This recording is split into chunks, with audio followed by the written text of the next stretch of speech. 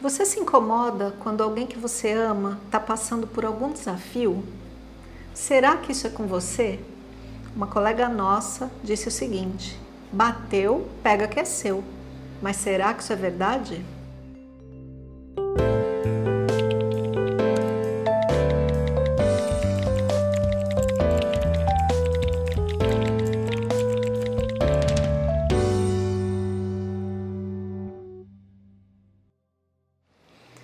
Aqui no Fala Kátia de hoje a gente tem uma pergunta muito interessante.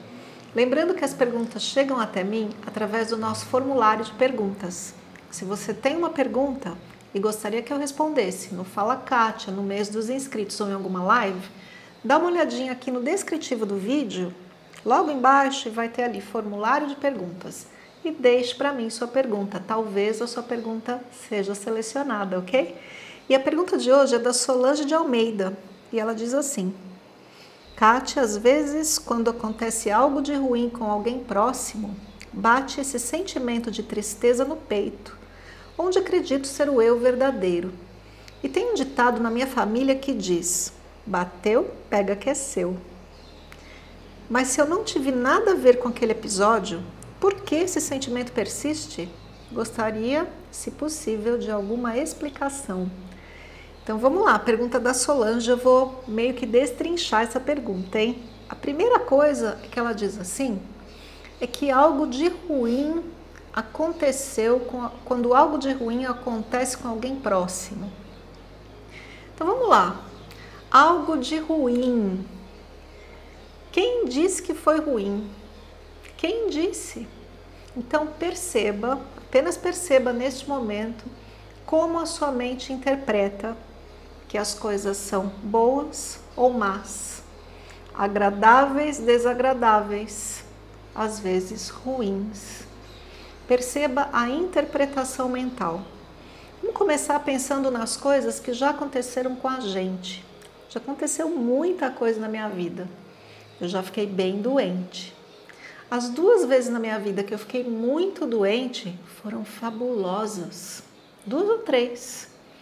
Uma vez eu fiquei tão, tão doente que busquei uma solução para aquele problema e encontrei um novo caminho profissional maravilhoso. Outra vez eu fiquei doente e cheguei a morrer, tive uma experiência quase morte, o que foi fantástico para minha para minha história, para o meu desenvolvimento. O que mais que aconteceu de ruim comigo? Ruim interpretação, né? Aconteceu uma vez que eu fiquei com uma dívida horrível de milhares de reais. Foi ruim? Não, porque eu tive que achar uma solução criativa para aquilo. E essa solução criativa rendeu vários cursos online que eu dou hoje. Então, pense na sua mente interpretando e dizendo o seguinte: isso é ruim, isso não devia estar acontecendo. Mas na real, quem somos nós? Quem é o ser humano para dizer se algo deve ou não estar acontecendo com alguém. A gente de fato não sabe onde que aquele desafio vai conduzir a pessoa. Então começa aí o nosso questionamento aqui da pergunta da Solange. Daí ela diz que quando algo acontece com alguém próximo, bate um sentimento de tristeza no peito, onde eu acredito ser o eu verdadeiro. Então aí tem mais um pequeno engano. O eu verdadeiro não fica triste, porque o eu verdadeiro não interpreta. O eu verdadeiro, seu eu real, é aquela parte de você que é uma extensão de Deus. Eu tenho usado atualmente no canal outro termo, que é para mim além de extensão de Deus. Eu falava que era extensão de Deus, eu dizia assim: Deus é amor, paz e poder. E nós somos uma extensão disso. Tá correto isso. Mas hoje em dia eu tenho visto assim. Você sabe o que é um fractal? fractal é uma fórmula matemática que quando você vê na forma de imagem, ele aparece assim como uma coisa colorida, meio espiral, assim bem bonito. Você pode olhar no seu computador na internet. E o fractal tem a seguinte característica: você pega ele grande e você vê o fractal grande e você pega um micro pedacinho dele e quando você aproxima, ele é igualzinho grande. Então é isso que nós somos. O, o eu real, esse eu verdadeiro que a Solange fala, ele é como um fractal de Deus. Ele é a mesma coisa numa perspectiva diferente, talvez numa escala diferente. A gente pode dizer que Deus fica triste? Não, quem fica triste é o ser humano, porque o ser humano tem uma mente, o ser humano tem cabeção que diz assim: as coisas são boas ou más, as coisas são agradáveis ou desagradáveis, as coisas são felizes ou tristes. Então, isso se chama interpretação e a interpretação depende de quem interpreta. Um acontecimento pode ser triste para uma pessoa e não triste para outra pessoa, é apenas uma interpretação.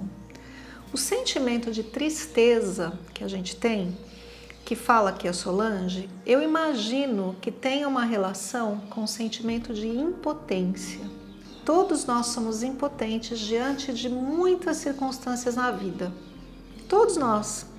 Então eu penso às vezes, por exemplo, coisas que me chamam a atenção no mundo. A economia mundial, a saúde das pessoas do mundo, a política mundial. Essas coisas me chamam a atenção. Mas quando eu olho para elas e penso, eu posso realmente ir lá e mudar aquilo? Eu não posso. Eu, a minha ação tem uma extensão limitada, não é? Então é natural que o ser humano se sinta impotente diante de muita coisa. E quando um desafio acontece na vida de uma pessoa que a gente ama, na vida de alguém próximo, a gente sente isso também. Impotência. Ah, eu não posso fazer nada. Ou eu não posso fazer muito. E tudo bem, porque é assim mesmo na vida. A vida é assim. Hoje é a sua vez de ficar doente. A minha vez de ficar doente vai ser outro dia. Hoje é a minha vez de ter uma situação de relacionamento que eu preciso, de, que eu preciso resolver. A sua vez não é agora, vai ser depois. Todos nós temos desafios na vida, só que eles não acontecem ao mesmo tempo. Cada um no seu tempo.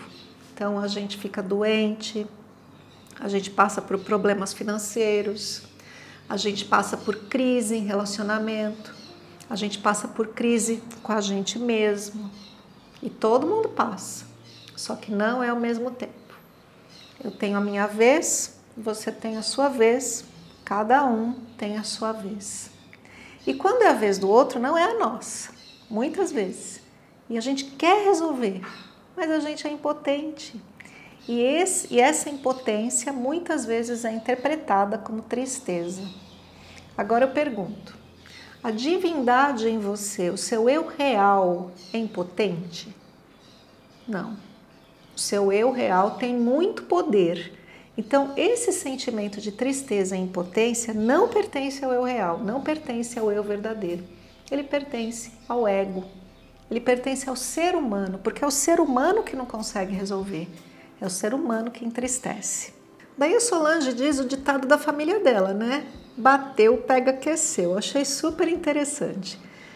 Bateu, pega, aqueceu tem um significado bom, sim. Eu acho que é legal esse ditado.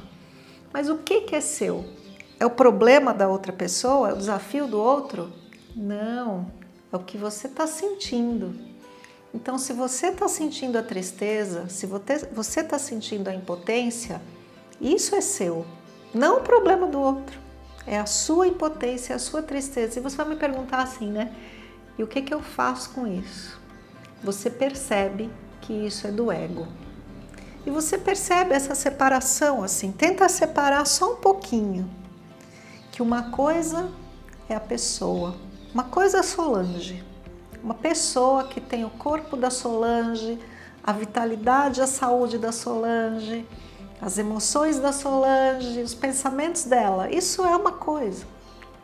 A outra coisa diferente é o eu real da Solange. E a Solange, essa pessoa que mandou a pergunta, ela experimenta essas duas realidades ao mesmo tempo ao mesmo tempo, são duas coisas opostas simultâneas e acontecendo ao mesmo tempo. Elas parecem contraditórias. Isso se chama paradoxo da existência. A nossa vida é assim.